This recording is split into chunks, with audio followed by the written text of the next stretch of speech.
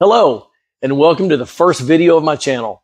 My name is Robert Visitacion, owner of VFit House of Champions here in Arlington, and trainer of some of the world's top pro fighters and a few of the nation's top amateur fighters as well. I've been studying martial arts for 46 years now.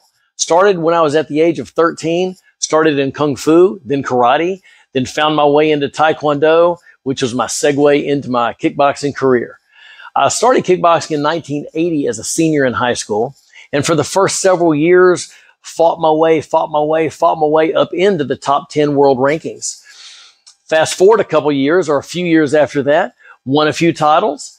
And uh, fast forward a few years later, I end up retiring with a record of 47 and 7 with 36 knockouts. Fast forward a few more years, and I get inducted into two Hall of Fames for my efforts in my kickboxing career that I'm really proud of. The content of this channel will benefit anyone that's interested in kickboxing or Muay Thai, from your beginner fitness enthusiast to your pro fighter. I'll cover everything I can from A to Z as far as kickboxing goes. We're going to go over punches, correct punches, punch combinations. We're going to go over kicks and kick combinations. Uh, we'll learn how to get more power out of your kicks. We'll go over drills, footwork, conditioning, and 30 minute kickboxing workouts as well.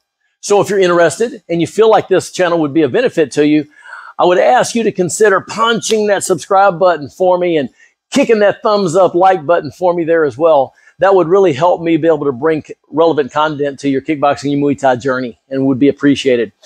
I want everybody to get engaged here. So please comment down below on any subject that you would like to see here on this channel. Okay. If you have any questions as well, go ahead and put them down there below. I will get back with you on those also. Uh, we're going to start off with a video a week. So look for us next week.